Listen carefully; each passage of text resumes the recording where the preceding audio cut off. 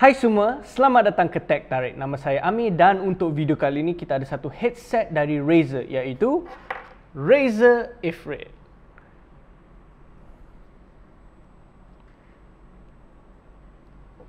Jom, check it out.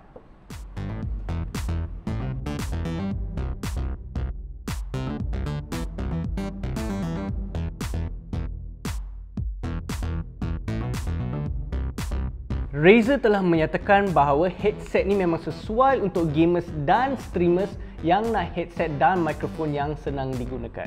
Headset ni diperbuat daripada plastik dan getah. Ia agak ringan dan senang untuk dipakai. Ia juga menggunakan in-ear earphones yang diperbuat daripada besi tapi kabel dia agak nipis so kemungkinan akan cepat rosak kalau ditarik.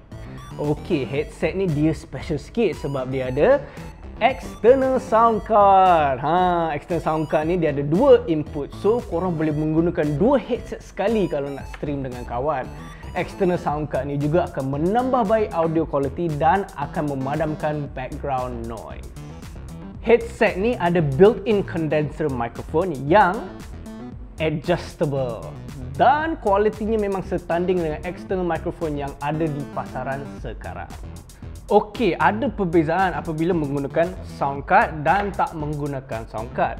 Selain boleh menggunakan dua input, bunyi audionya juga boleh mengeluarkan bass yang kuat.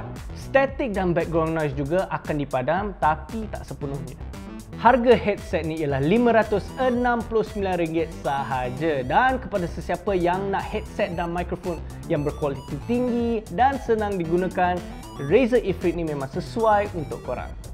Okey, itu sahaja video untuk Razer Ifrit. As usual, kalau korang ada apa-apa pun dapat pasal headset ni, sila tinggalkan komen. Jangan lupa follow kami di social media dan kalau korang nak tengok video-video kami yang lain, subscribe to our channel.